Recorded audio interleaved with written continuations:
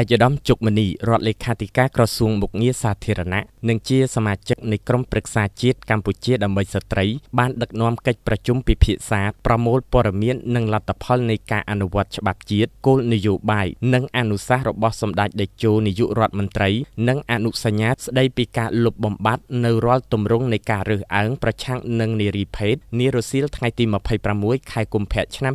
2020នៅសាលប្រជុំសាលាខេត្តដោយមានមន្ត្រីមន្ទីរអង្គភាពជុំវិញខេត្តចំនួន40នាក់ក្នុងនោះលោកស្រីម៉ែនផូលីអភិបាលរងខេត្តពោធិ៍សាត់ក៏មានវត្តមាននៅទីនោះដែរឯកឧត្តមជុកមនីរដ្ឋលេខាធិការក្រសួងមុខងារសាធារណៈនិងជាសមាជិកនៃក្រុមប្រឹក្សាជាតិកម្ពុជាដើម្បីស្ត្រីបានថ្លែងជម្រាបជូនក្នុងកិច្ចប្រជុំនោះថាគោលបំណងដើម្បីប្រមូលព័ត៌មានលទ្ធផលនៃការអនុវត្តច្បាប់ជាតិគោលនយោបាយនិងអនុសាសន៍ដ៏ខ្ពង់ខ្ពស់របស់សម្ដេចតេជោហ៊ុនសែននាយករដ្ឋមន្ត្រីនៃព្រះរាជាណាចក្រកម្ពុជាព្រមទាំងអនុសញ្ញាស្ដីពីការលុបបំបាត់រាល់ទម្រង់នៃការរើសអើងប្រឆាំងនឹងនារីភេទជាមួយគ្នានោះក្រមប្រតិភូស្វែងយល់ពីបញ្ហាប្រឈមនិងដំណោះស្រាយពាក់ព័ន្ធនឹងការលើកកម្ពស់ស្ថានភាពជីវភាពឋានៈទូនាទីនិងសុខុមាលភាពស្ត្រីនៅតាមស្ថាប័នមន្ទីរអង្គភាពស្រុកក្រុងឃុំសង្កាត់ទូទាំងខេត្តពោធិ៍សាត់ដើម្បីរៀបចំរបាយការណ៍ជាតិតាមការកំណត់បញ្ចូលទៅអង្គការសហប្រជាជាតិ ឯកឧត្តមបានជម្រាបជូនថា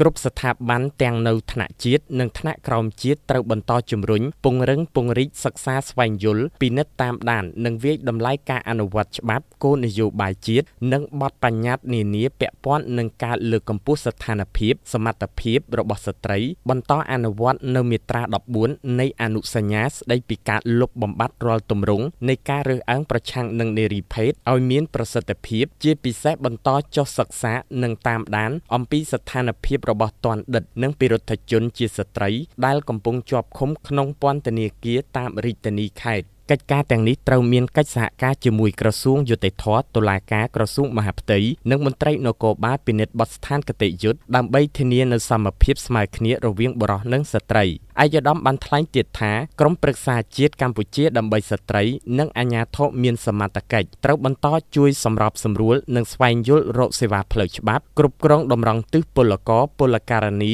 ទៅធ្វើការទាំងក្នុងនិងក្រៅប្រទេសដោយស្របច្បាប់បង្កើតការអប់រំផ្សព្វផ្សាយថែរក្សាវប្បធម៌ប្រពៃណីកិត្តិយសសេចក្តីថ្លៃថ្នូរនិងអក្សរសាស្ត្រជាតិ ជាមួយគ្នានោះយកចិត្តទុកដាក់ក្នុងការបង្កើនចំនួនមន្ត្រីរាជការជាស្ត្រីបន្ថែម និងតែងតាំងមុខតំណែងឲ្យមានតំណែងស្ត្រីនៅគ្រប់រចនាសម្ព័ន្ធទាំងថ្នាក់ជាតិនិងថ្នាក់ក្រោមជាតិចំពោះស្ថាប័នអប់រំសុខាភិបាល និងក្រសួងការងារត្រូវតម្រង់ទិសសិស្សនិស្សិតលើការបណ្ដុះបណ្ដាលវិជ្ជាជីវៈដើម្បីឆ្លើយតបទៅនឹងតម្រូវការទីផ្សារការងារនិងមានប្រាក់ចំណូល សូមបញ្ជាក់ថាយោងតាមសេចក្តីសម្រេចរបស់រាជរដ្ឋាភិបាលកម្ពុជាលេខ99សសរចុះថ្ងៃទី27ខែធ្នូឆ្នាំ